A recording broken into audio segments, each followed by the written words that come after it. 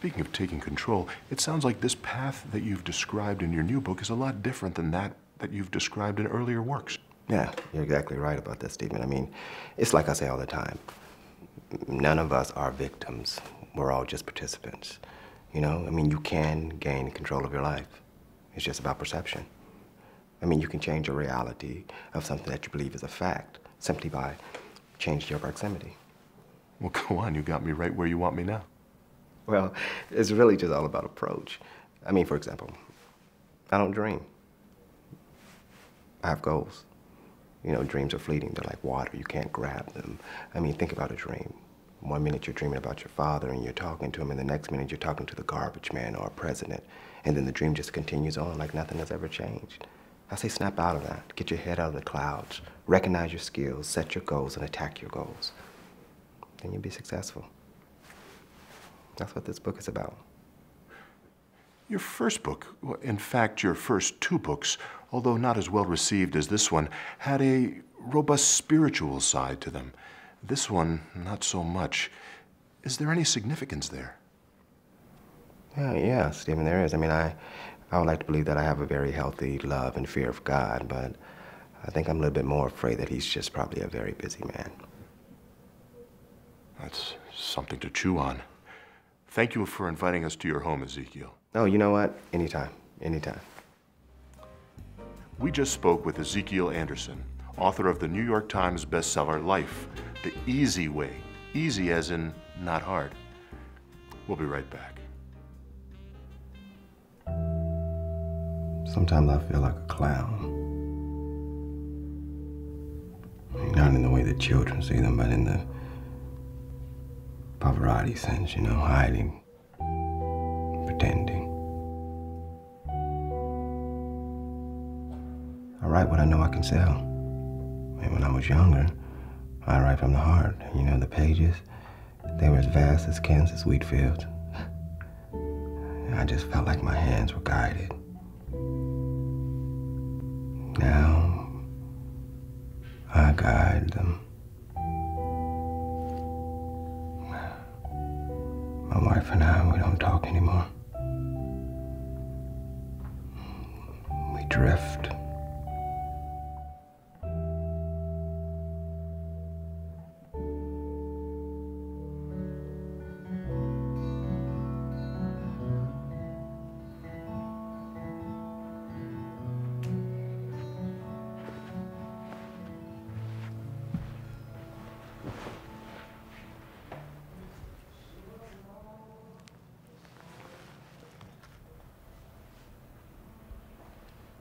When was the last time we fought? I'm not sure, man. We should fight. Now. Yeah. I, uh, I don't really agree, but. You never listen to Tchaikovsky anymore. Or Leonard Bernstein. Hmm. I haven't even noticed. I remember the day you were a little past buzzed and you kept going on about how much of a musical genius Tchaikovsky was. Baby, I'm I'm I'm sorry. You wanna you wanna you wanna talk about music? No.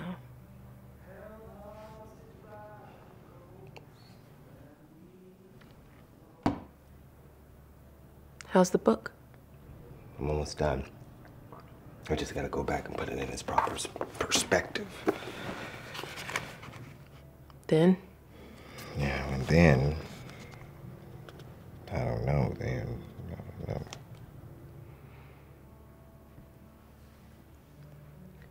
We should think about a separation.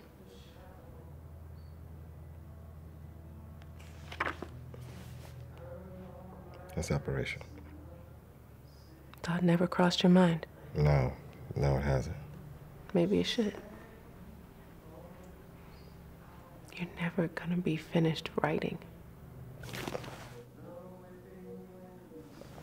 Wait, what, what, what's so wrong with that? There's nothing wrong with it. It's. It, Baby.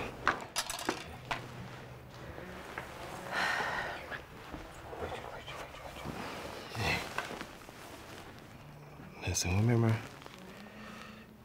when we first met?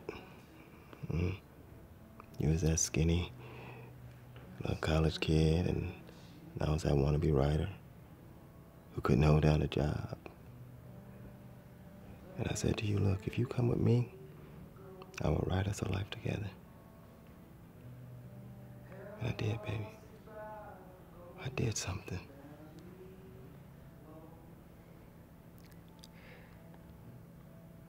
Our marriage is, is, is ending.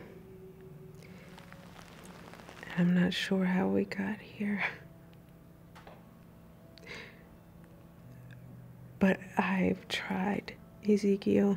Baby, what is. Baby, what are you doing? What are you doing? People kill for this life we have. We have a big house. We have more money than we can spend. Just, I'm almost there. All right? Then you can have me. You understand? Every piece of me. Baby, just let me finish. I remember the day that we got married. Hmm.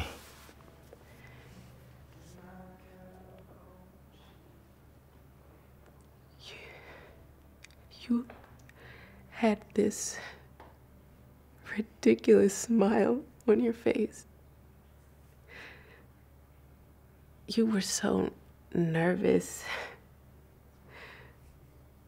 happy.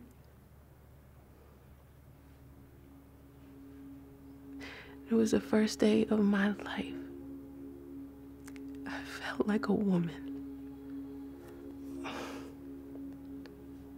Babe,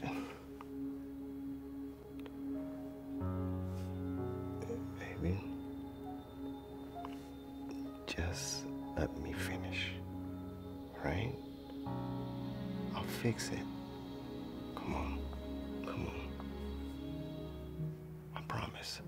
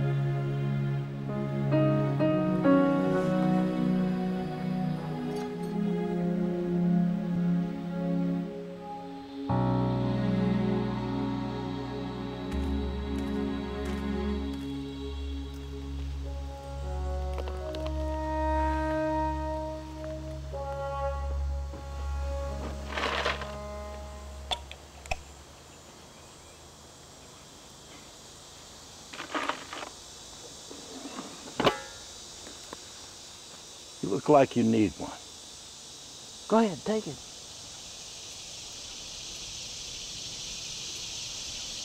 Thanks.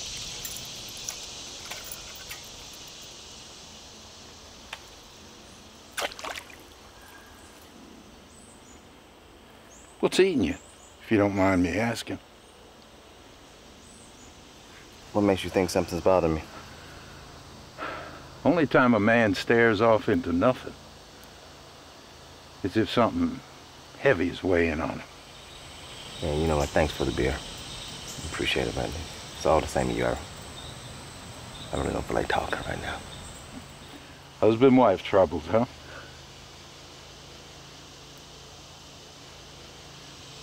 How'd you know that? When a man's so tight-lipped, it's usually about a woman. I seen your ring. Cheetah wouldn't be out here. Cheetahs rarely think. They just do.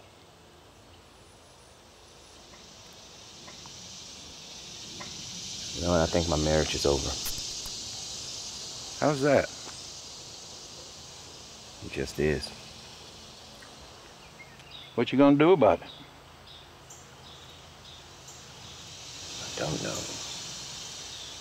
Should fight for his wife, shouldn't he? Yeah. I guess in a philosophical sense. Philosophical. Your marriage is falling apart. You ain't gonna do nothing about it? You know what I said I didn't know? Hey, when I was a little boy, my daddy had a ranch. For my 12th birthday, he bought me a horse. I named her Betsy. I mean, I could have come up with something better than that, but it was the first thing to hit me. I can understand Yeah, that. me and Betsy, we were the best of friends. I mean, we would ride from sunup to sunset. I was the only one could ride her. If anybody else tried to ride her, she'd buck 'em right off. Then I became a teenager. Only thing I cared about was chasing girls and playing football. You know, sometimes when I'd be coming back from practice or something, I'd see her standing out there all alone in the field. You know, it took me two weeks before I realized my daddy had sold her. Anyway, after daddy passed, me and mama got to talking. She told me it about near broke him in two when I forgot about Betsy. Sometimes we get so caught up in the things of this world. When we discard the gift, we disrespect the giver. Of course, I'm not liking your wife to a horse. But I know you appreciate an analogy. Are you really official? Yes, I am.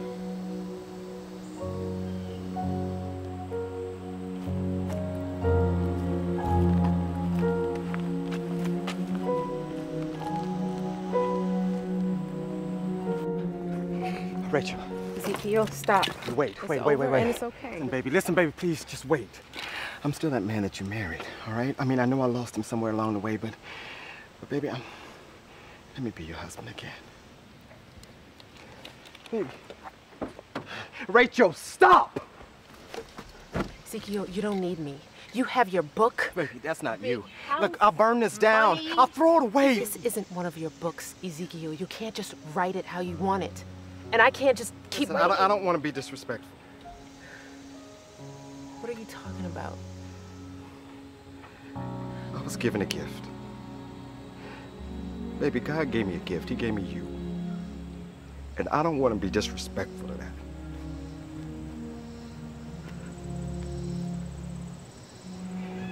Please.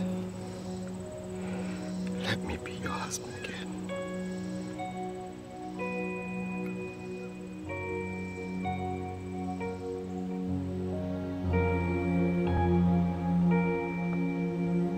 Baby, don't, baby. Baby, don't.